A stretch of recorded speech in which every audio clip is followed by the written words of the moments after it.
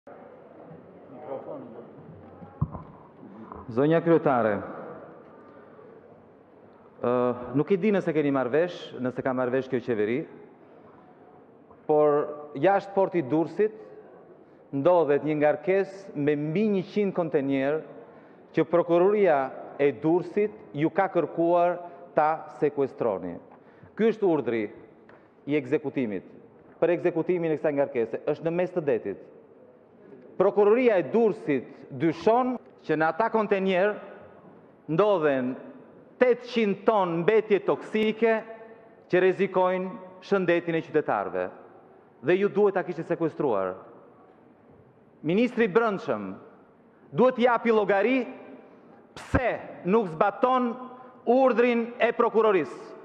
Ky është urdhri ku e thotë qartë.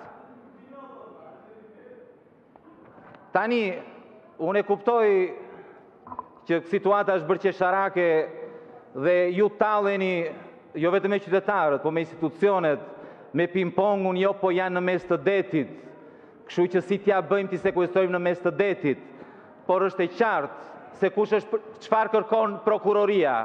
Prokuroria ju kërkon, i kërkon kësaj qeverie, sepse nuk ka skandal më të madh se ky që përfshin të gjithë qeverinë, nga Ministria e Infrastrukturës, tek Ministria e Mjedisit, tek Ministria e Brendshme, tek Ministria e Financave, të cilët duhet kontrollonin dhe janë në këtë urdhër. I kërkohet Autoritetit Portual, është urdhër ekzekutiv. Kapitenerisë së Portit, Dega e Doganës, Drejtoria Vendore për Kufirin dhe Migracionin, Drejtoria Vendore e Policisë, Drejtoria e Hetimit Doganor, janë të gjithë, duhet të zbatoni ligjin, duhet të respektoni urdhrin e Prokurorisë. Mirë që nuk jepni përgjigjen, mirë që nuk shpjegoni, mirë që nuk bëni transparencë me çfarë keni bërë. Por të paktën respektoni urdhrin e prokurorisë. Është e qartë se nuk e bëni. Është e qartë sepse duhet të fshini trafikun ndërkombëtar me mbetje toksike që keni bërë nga porti i Durrësit. Sepse nëse do ishte një gjë shumë e thjeshtë siç tentuat ta bënit, sigurisht i mbetje, të gjitha mbetje të kurumit. Ça problemi ka atëherë? Pse nuk e bëni, pse nuk e sekuestroni ngarkesën? Pse nuk bëhet testimi?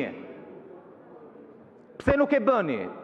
Për një arsye shumë të thjeshtë, sepse jeni të gjithë të përfshirë.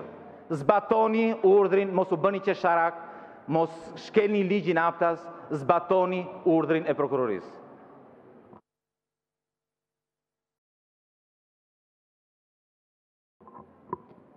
Zoti Kollçaku keni fjalën, përgatitet zonja Açka. Fale... Faleminderit zonja kryetare.